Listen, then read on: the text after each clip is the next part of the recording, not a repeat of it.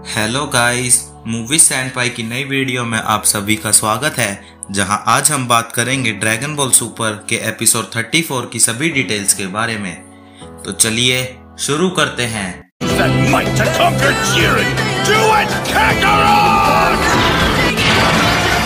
It,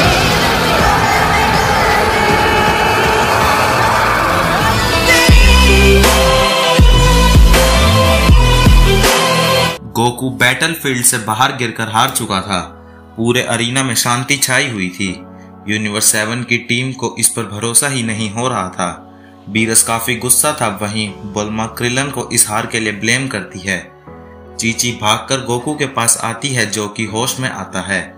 frost भी Goku से बात करने जाता है। वो कहता है कि उसे पता नहीं कि उसने गोकू को कैसे मारा, पर वो गोकू की वजह से ही अपनी लिमिट्स को पुश कर पाया। वो उसकी तरफ़ हाथ बढ़ाता है और सभी उन दोनों को अप्रिशिएट करते हैं। गोकू अपनी टीम स्टैंड पर वापस जाता है, जहाँ बीरस काफ़ी नाराज़ था। वो कहता है कि गोकू आराम से जीत जाता अगर वो अपनी पूरी स्ट्रेंथ का इस्तेमाल करता तो। गोकू कहता है, अगली बार ऐसा नहीं होगा। बीरस कहता है कि अगली बार का शायद मौका ही ना मिले। इधर चांपा भी बीरस को चिढ़ाने लगता है, जिससे बीरस और भड़क जाता है। यूनिवर्स सेवन से अगला नंबर पिक्कलो का था। वो पूछता है कि क्या उसका कोई चांस है जिस पर गोकू मना करता है? गोकू बोलता है कि अगला नंबर वजीटा का है तो वो फ्रोस्ट को जितना कमज़ोर कर सके उतना बेहतर होगा। पिकलो फ़ील्ड पर आता है। वो कहता है कि सभी उसे वीक समझते हैं और वो अपना केप उतार देता है। तभी जाको भी वजीटा के पास आकर बैठ जाता है, जिसे मैच क्लोजली देखना था। गोंग बजता है और मैच शुरू होता है। फ्रोस्ट पिकलो की तरफ़ बढ़ता है, पर पिकलो उसे डॉज कर देता है। पिकलो स्पेशल बीम कैनन के लिए एनर्जी इकट्ठी करना शुरू करता है। फ्रोस्ट समझ जाता है कि इस अटैक के लिए पिकलो को काफ़ी एनर्जी चाहिए होगी तो वो पिकलो पर केओस बीम शूट करना शुरू करता है। पिकलो एनर्जी चार्ज अप करते हुए उसे डॉज कर रहा था। पिकलो भी फ्रोस्ट पर अटैक करता है, पर वो उसे डॉज कर देता है।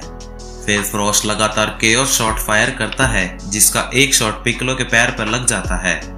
पिकलो ज़मीन पर आ जाता है और किसी तरह अपना कंसंट्रेशन बनाए रखता है।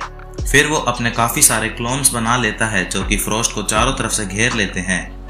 चांपा इधर से फिर कंप्लेट करना शुरू कर देता है, पर बीरस उसे चुप करा देता है। फिर फ्रोस्ट केओस बीम का यूज़ करके उन क्लोन्स को मिटा देता है। फ्रोस्ट इस सब में थक हार कर एक्सप्लोसिव वेव को यूज़ करके सारे क्लोन्स को एक ही बारी में निपटा देता है। फिर वो पिकलो पर पंचेस मारने लगता है जिन्हें पिकलो ब्लॉक कर रहा था। फिर फ्रोस्ट पिकलो के इंजर्ड लेग पर मारता है और उसे एक किक मारता है। इससे उसका कंसंट्रेशन टूट जाता है। जब फ्रोस्ट को लगा कि वो जीत गया तो अचानक एक हाथ आकर फ्रोस्ट को बाँध देता है। वो असली पिकलो था जिसका प्लान काम कर गया था। फ्रोस्ट बोलता है कि उसका सारा ध्यान उस एनर्जी पर ही था, और जब वो गायब हुआ तो उसे लगा वो जीत गया, पर वो पिकलो के प्लान में फंस गया। पिकलो बोलता है कि वो इसी मूवमेंट का वेट कर रहा था, और यूनिवर्स सेवन में उसकी टीम भी काफ़ी खुश हो जाती है। जैसे ही पिकलो अपनी बीम शूट करने वाला था, अचानक सब कुछ धुंधला होने लगता है। इस मौके का फ़ायदा उठाकर फ्रोस्ट पिकलो को क्लोज आता है, और डर्टी बस्ट अटैक यूज़ करता है। पिकलो के अंदर एक होल बन जाता है और वो बीम आसमान में शूट हो जाती है, जिससे उस डोम में एक बड़ा छेद बन जाता है। रेफरी फ्रोस्ट को विनर डिक्लेयर कर देता है। बीरस काफ़ी हैरान था, वहीं चांपा काफ़ी खुश था। तभी जाको ऑब्जेक्शन रेस करता है।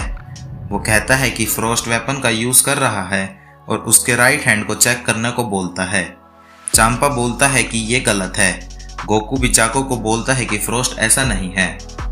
तभी वेजिटा पूछता है कि क्या जाको ने उसे खुद देखा? जाको काफ़ी कॉन्फिडेंट था। बीरस रेफरी को फ्रोस्ट को चेक करने को बोलता है। रेफरी उसकी बॉडी को सर्च करता है और उसे एक नीडल मिलती है। फ्रोस्ट कहता है कि ये उसकी बॉडी का ही पार्ट है, पर रेफरी उसे डिस्कालीफाई कर देता है। वो सेन लड़का भी ये सुनकर शौक था। वार्डोस बोलती है कि ये ऐसा है क्योंकि फ्रोस्ट का ये असली नेचर है और बताती है कि जिस स्पेस पायलट्स ने प्लेनेट मेयोनाई पर अटैक किया था। वो फ्रोस्ट के लिए ही काम करते हैं। फ्रोस्ट बताता है कि वही वॉर्स को शुरू करता है और फिर उन्हें ख़त्म करता है। फिर वो फाइटिंग से खराब हुई लैंड को सस्ते में खरीदता है और फिर उससे प्रॉफिट बनाता है। वेजिटा कहता है कि चाहे यूनिवर्स कितना भी डिफरेंट हो, पर फ्रीजा कभी अच्छा पर्सन हो ही नहीं सकता। सभी उसे बू करने लगते हैं कि पिकलो भी खड़ा हो जाता है। चांपावाडो से पूछती है कि उसने एक ऐसे बंदे को टीम में क्यों लिया? वार्डोस कहती है कि चांपा ने कहा था कि उन्हें जीतने वाले फाइटर्स लाने हैं तो उसने वैसा ही किया। चांपा गुस्से में फ्रोस्ट को डिस्ट्रॉय करने की बात बोलता है कि वेजिटा उसे रोक देता है। वो कहता है कि उसे डिस्ट्रॉय या डिस्कालीफाई करने की कोई ज़रूरत नहीं है, क्योंकि वो अगला फाइटर है और वो उसे खुद निपटाएगा। रेफरी कहता है कि पिकलो की हार को वापस ले लिया है तो वो कंटिन्यू कर सकता है।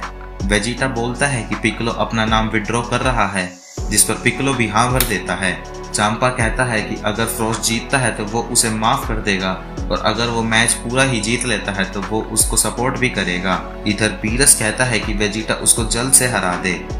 वेजिटा फ़ील्ड पर आता है, जहाँ फ्रोस्ट कहता है कि वेजिटा काफ़ी कॉन्फिडेंट लगता है। वेजिटा कहता है कि उसकी आवाज़ से वो एनॉय हो रहा है, जिसके साथ एक स्टेयर डाउन होता है और एपिसोड खत्म हो जाता है।